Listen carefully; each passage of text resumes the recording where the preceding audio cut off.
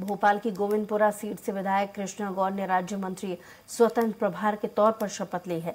मंत्री पद मिलने के बाद कृष्णा गौर ने कहा कि एमपी में पीएम मोदी की हर गारंटी को पूरा किया जाएगा। साथ ही राज्य के विकास के लिए सभी मंत्रियों के साथ मिलकर काम होगा। भारतीय जनता पार्टी के मंत्रिमंडल बनने के बाद आज कृष्णा गौर जिन्हें स्वतंत्र प्रभार कार्यकर्ताओं की भारी भीड़ में उनका स्वागत किया जा रहा है। वहीं देखा जाए तो बड़ी संख्या में यहाँ पर उनके क्षेत्र से और उनके जो कार्यकर्ता है, उन्होंने यहाँ पे भव्य स्वागत किया। बड़ी संख्या में यहाँ पे उनके निवास पे पहुँचे हैं। वहीं अगर कृष्णा गौर की बात की जाए तो कृष्णा गौर का कहना है अप्रत्याशित विकास माननीय प्रधानमंत्री जी के नेतृत्व में डबल इंजन की सरकार की गति से कर रही है। निश्चित रूप से आने वाले समय में इस गति को और तेज करेंगे।